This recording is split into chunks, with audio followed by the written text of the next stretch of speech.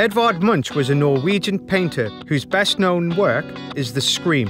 He was out walking at sunset when he heard the enormous infinite scream of nature and was inspired to paint one of art's most iconic images. Prepare a dill sprig garnish.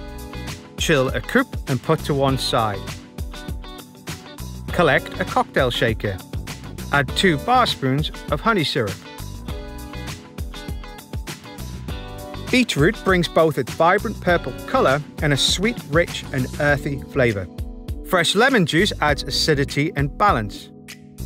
Native to Central Asia, the pear tree is one of the oldest cultivated fruit trees in the world. Hailing from Denmark, geranium gin is a gentle mix of juniper and floral nuances both on the nose and palate.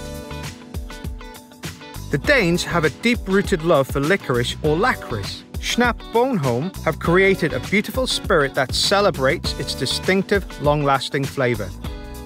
Fill with cubed ice and shake for 10 seconds. Open. Dip taste. Empty ice from the cup. Fine strain. Top with a touch of Fentimans ginger ale Affix the dill garnish to the rim of the glass. Rinse equipment and replace. Present and serve.